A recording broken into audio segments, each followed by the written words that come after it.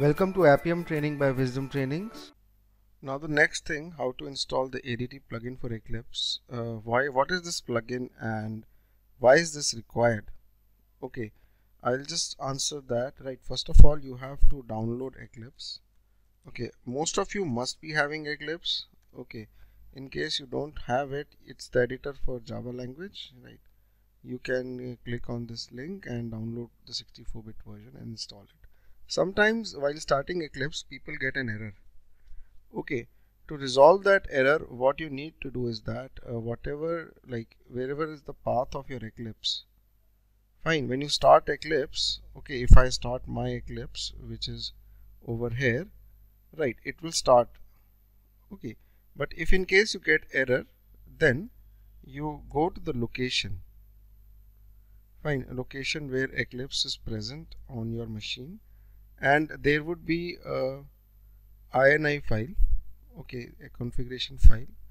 Uh, edit it and inside it give this line hyphen vm okay there is jvm.dll which is present somewhere in jdk at this path jre bin server jvm.dll you need to give the path of jvm.dll in case you get the error if you don't get the error then it's fine Eclipse is started and I will just make a workspace. Appium uh, workspace. Alright fine. Now uh, there is a plugin for Android inside Eclipse. Okay you can install a plugin for Android. It is known as the ADT plugin. Right Android Development Toolkit right uh, with the with that plugin android gets installed as as a plugin inside eclipse. Fine. And uh, for example most of you must have worked with testng testng is a plugin inside eclipse. So there are different plugins. One of them is adt to work with selenium you need to install uh, this adt plugin. Fine. So uh, hold on. This is eclipse which is starting fine. And this is the welcome screen. I'll just close the welcome screen right? Now you see I am getting an error. Failed to get required ADT because I have the plugin installed. Because of this plugin I'm getting a warning not an error. So this means that I have the plugin installed. You will also get this kind of error once you install it right? So uh, you go to help and install new software. Okay. Over there you have to give the link for ADT plugin which is this link. Okay just give this link over here and you will get the developer tools select that click on next next next and it you will be able to install it. Eclipse will also restart. If some warning or error comes in between just ignore it and continue. Okay right. So uh, once you have this plugin fine. You can go to Windows uh, preferences right after you install it you go to Windows preferences and you will get the Android option over here. Okay update the SDK location out here. Okay the same SDK location which was there inside Android Studio right? Okay the same location you need to update over here. You need to tell Eclipse where the SDK is lying. Fine. So uh, the ADT plugin will help us okay how will it help us? That will be clear in the coming modules to detect the phone and all whether the phone is detected. It will tell you that. All right fine. Now moving ahead the next thing is yeah set the path yes. Eclipse warning yes. So uh, once you restart the eclipse after adt installation you will get the warning message like i got. And if you get that that means adt has been successfully installed Okay, now uh, installing Node.js and .NET framework is important for Appium. Alright, so you just have to install both of them. It's very easy. You just need to go to Google and type uh, download Node.js. Okay, and you can go to download Node.js link and download the 64-bit version. Okay, install the exe. Right and after that install the .NET framework. Fine. So just go to Google and type download .NET framework. Okay most of the times in Windows 10 it is installed but still right you can go for the latest one and install the exe. Okay download and install the exe. All right. So you have done major majority of the installations right? Now you have to take care of your phone. You have to come to the phone. Now uh, after all these installations and all android .NET framework node.js I would suggest that just restart your PC once. Okay. Just uh, you can uh, restart the PC and come to the website qtpselenium.com and continue with the video. The reason being that uh, you know it's little safe. Although it's not required but sometimes you know it might uh, you know do something to, uh, to to settle the installations. Okay once a while I was stuck and when I restarted it worked. Okay so just restart if in, in, in case you haven't right? Now after that you have to enable the developer mode in the phone. Now what is developer mode? Okay this means that you will act as a developer okay. Uh, what you need to do is that uh, this is my phone. Okay hold on. I need to connect it. I'm sorry. Just a minute. I'm using the mirror software which helps my, the content of my phone app mirror uh, to be visible on this screen. Right. Now for enabling the developer mode you have to go to the settings and go to about phone. Okay. And uh, you will have something known as build version. Fine. Tap on the build version seven times. And at the bottom somewhere over here at the bottom you will get the message you are a developer. Okay. After tapping on the build number seven times you will be getting the message that you are a developer. So you have to enable the developer mode on the phone. Okay. Right and after that you have to enable the USB debugging in phone. This is very important. Okay. So what you do is that you go to the settings again. Okay one thing. Yeah you go to the settings again. And I'll just search for oh, oh sorry. Just a minute. Yeah I'll just search for developer?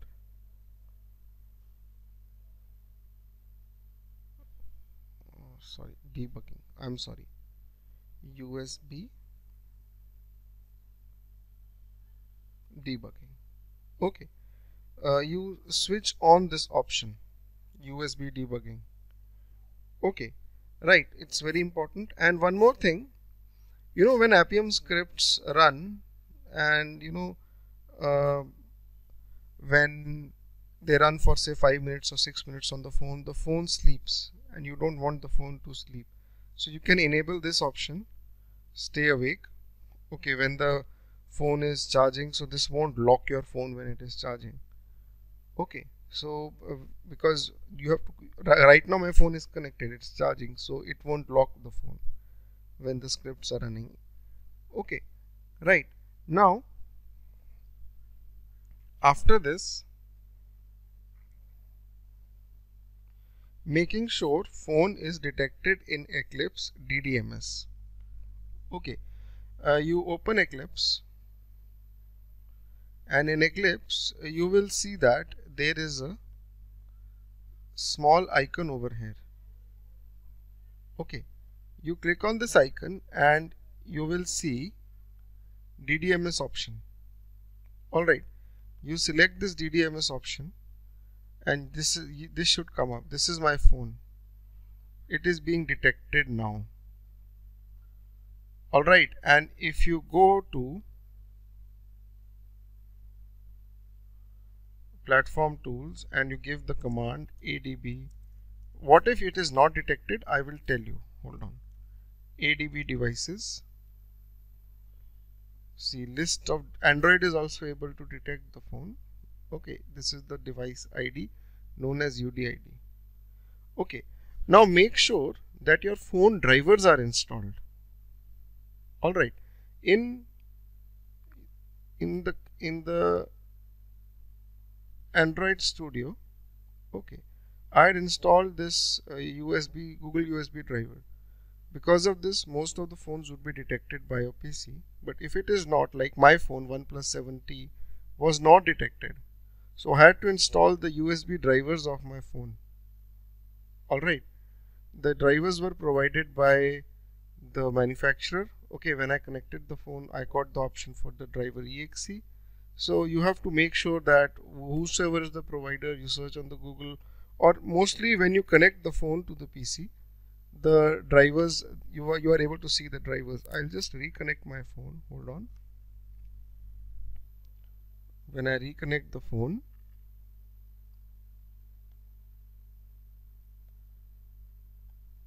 okay. Just a minute. Hold on. See this uh, in the settings there is again a very important setting known as you just type USB and USB preferences. Okay you say that I am no instead of no data transfer you select the complete thing file transfer. Okay when you do this see my phone has come up now. Okay right and in the in form of e drive and I got the drivers over here for my phone. So I had to install these drivers. Okay so you have to enable the file transfer mode and then only you will get this. Right. Now if you have installed this driver then after this your phone shall be detected. Okay in ADB devices this is the best thing. Okay okay right. In Eclipse also it is being detected. My Android had restarted actually. Okay right. Now once this is done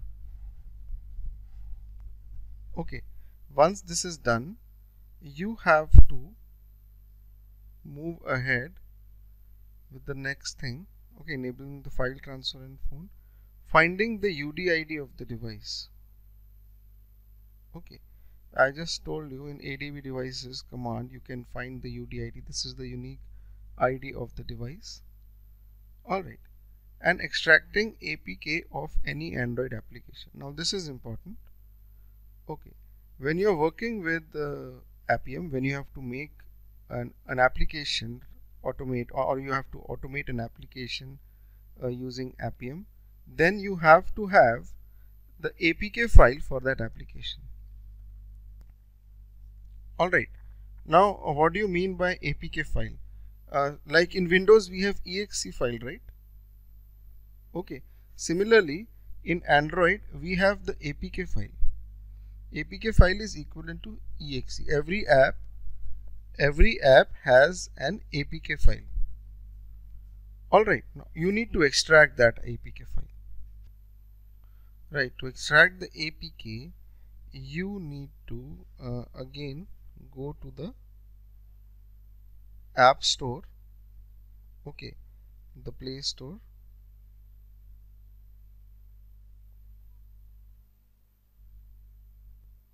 Okay. And search for APK extractor.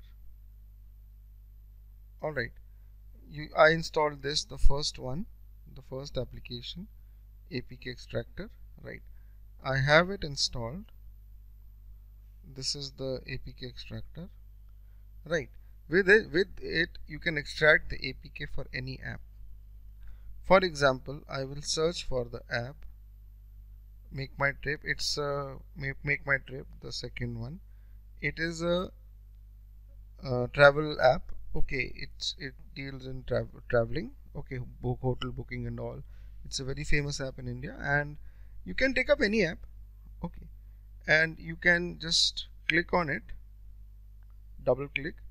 At the bottom you will get the message that apk has been extracted.